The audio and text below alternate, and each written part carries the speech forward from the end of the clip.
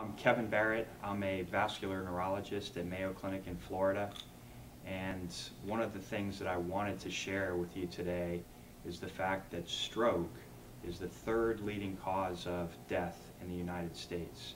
Stroke is a major problem. It's largely preventable. And for those who do have stroke, they're often left with permanent disability.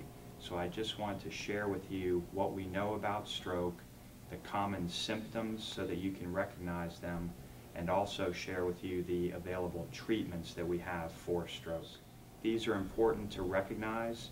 They're important for you and also your family because often stroke can affect your ability to speak, your language, your ability to express yourself. If that were to occur, family members, friends would also have to be aware of common stroke symptoms so that rescue or 911 could be used to help bring you to a local stroke center for urgent treatment.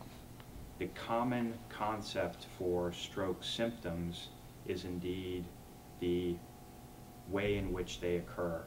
Stroke symptoms occur abruptly. They start suddenly without warning stroke is actually derived from an old Greek word that means to be struck down.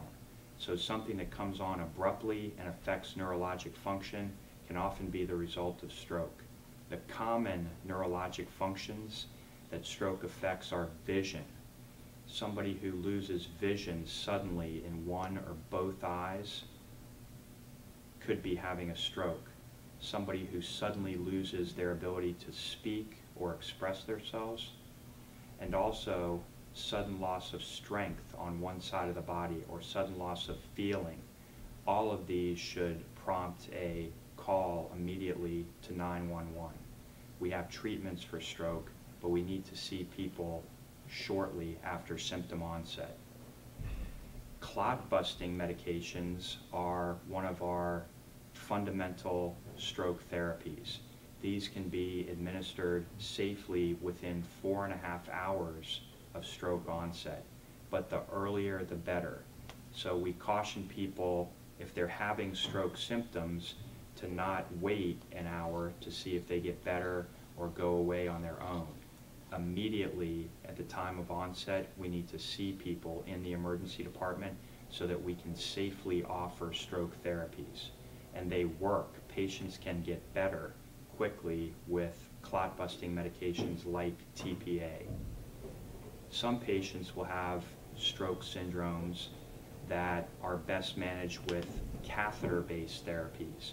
So we have teams of highly trained neurosurgeons and interventional radiologists who can provide stroke therapies from within the blood vessel. So not only can we give medications by vein to treat stroke, we can also administer clot busting medications and also devices that can help restore blood flow to blocked brain arteries. The majority of strokes are indeed caused by an interruption of blood flow to the brain, but in a small proportion, maybe 15% of stroke, it's due to bleeding within the brain. That also requires urgent care, and we have treatments for bleeding types of strokes. Some people have an, a brain aneurysm that ruptures, and in those cases, there are surgical and endovascular treatments that can be used to treat an aneurysm. Other kinds of bleeding can be treated with reversal of blood thinning when they're related to medications like Coumadin, and we also have other surgical treatments for hemorrhagic stroke. The key to effective stroke therapy is to be seen in a stroke center as quickly as possible. All of our treatments for stroke are time sensitive and the earlier we treat people, the better the outcome. That's the bottom line.